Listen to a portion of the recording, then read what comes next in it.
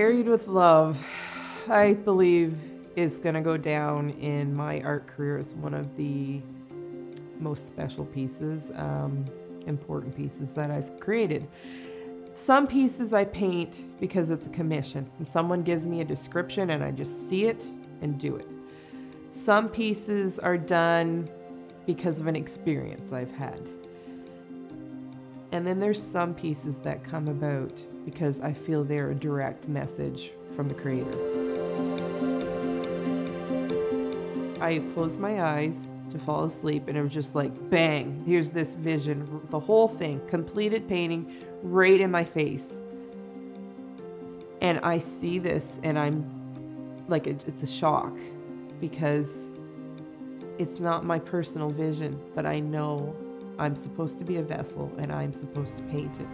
So when I create something that I feel is coming from above, I give it 500%. Like that perfectionist is there. Show up as best as you can and do the best you can, like your life depends on it, kind of thing. Like just, this is my moment to do what I was put on this earth to do, and I need to do it right. She said, Mom, I just I just feel like I have I have this vision and I have to paint this. Like it's just there. I just can't rest until I paint it.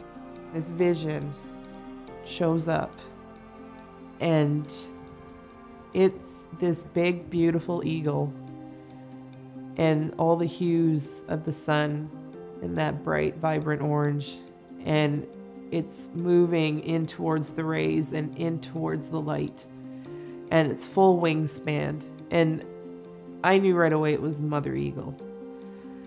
And there are 215 little souls on the back of this Mother Eagle.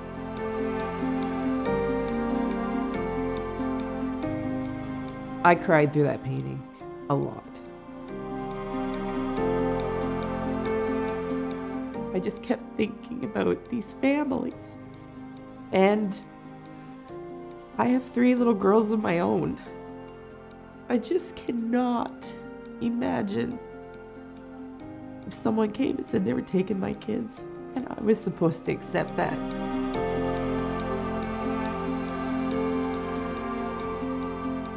The plan is to put the original museum and to sell prints that is the same size as the original and that's with intent because we don't want to lose any of the focus on those little children.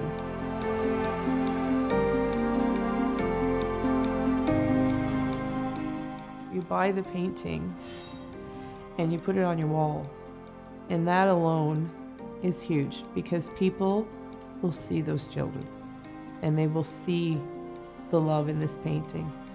And it may strike healing. It may strike uh, motivation to help. It may uh, start conversations.